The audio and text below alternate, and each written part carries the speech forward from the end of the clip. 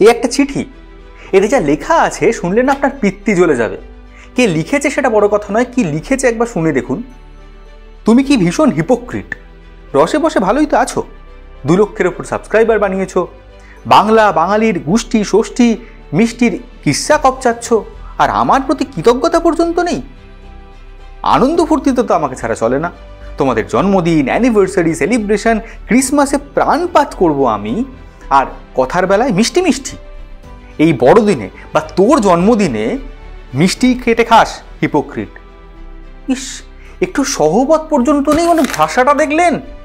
একটা সামান্য কেকের এত দুস্পর্ধা তাই আপনাদের কাছে বলতে এলাম।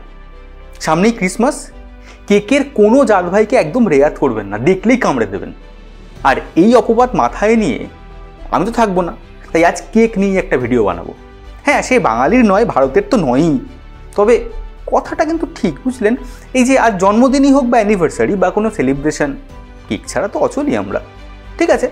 কেকের প্রতি কৃতজ্ঞতাই না হয় একটা পর্ব হবে। কেকের ইতিহাস ভূগোল নিয়ে না হয় হলো। আপনাদের কোনো আপত্তি নেই তো। চলুন তবে, কেক নিয়ে আজকের আড্ডাটা শুরু করা যাক।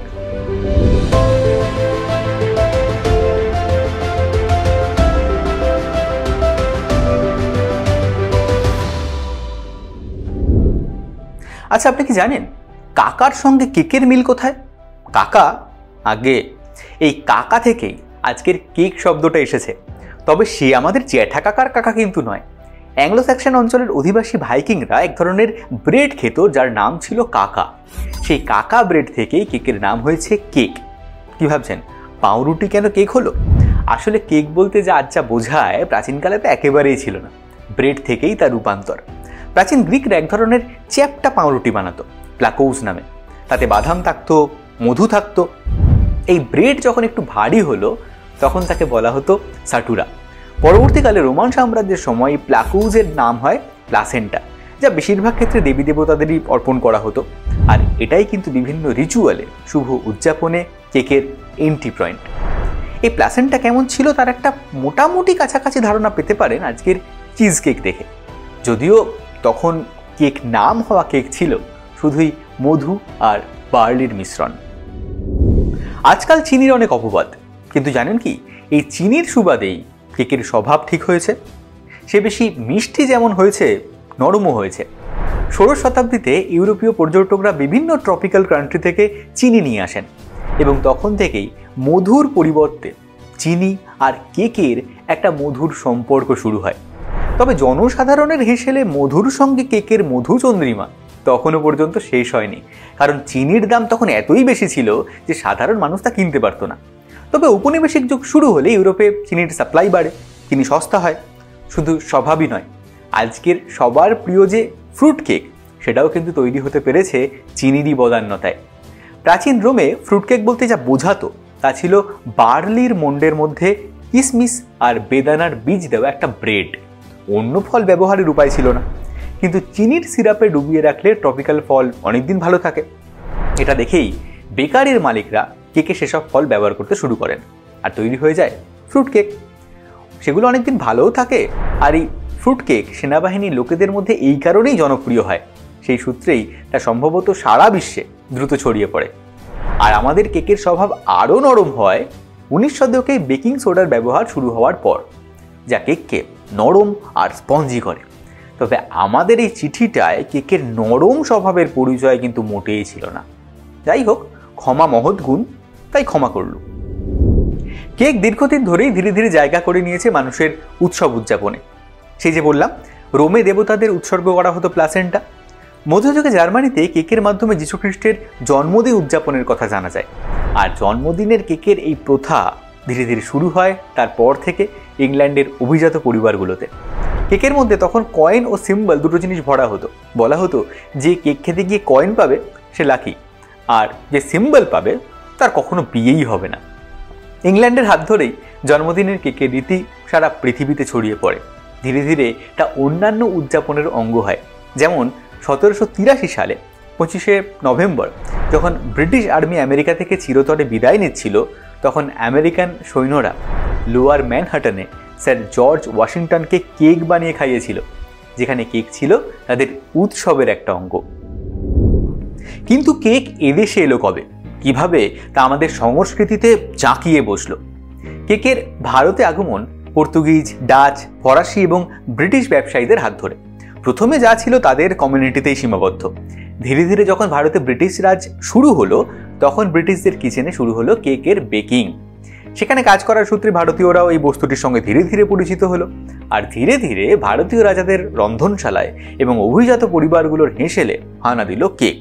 তবে বেকিংয়ের সরঞ্জামের দাম অতিরিক্ত হওয়ায় কেক তখন সাধারণের দরবারে নামেনি। খুব দেরি অবশ্য হয়নি, কারণ আমরা তো জুগারু তামিলদের থেকেই প্রথমে গরম বালির মধ্যে রেখে বিরিয়ানির মতো করে দম দিয়ে কেক বেক করার পন্থা জনপ্রিয় হলো এবং সেভাবেই সারা ভারতে ছড়িয়ে পড়ল। যেভাবে এখনও আমরা অনেকেই প্রেশার কুকারে কেক বানাই। এভাবেই কেক জনপ্রিয় হলো। তবে ভারতে বেকিংয়ের শুরুটা কীভাবে হলো, তা বলতে গেলে বলতে হবে বাপুজির কথা। আজকে কলকাতার বিখ্যাত নাহমস বেকারির পূর্বসূরিরা কলকাতায় ভারতের প্রথম বেকারি শুরু করলেও সেটা ছিল শুধুমাত্র ব্রিটিশ ক্রেতাদের জন্য।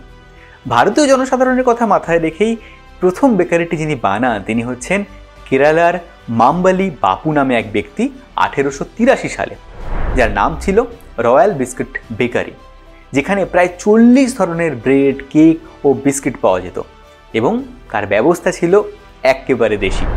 তবে বাপুকে কেক বানাতে শিখিয়েছিলেন মার্ডক ব্রাউন নামে একজন সাহেব।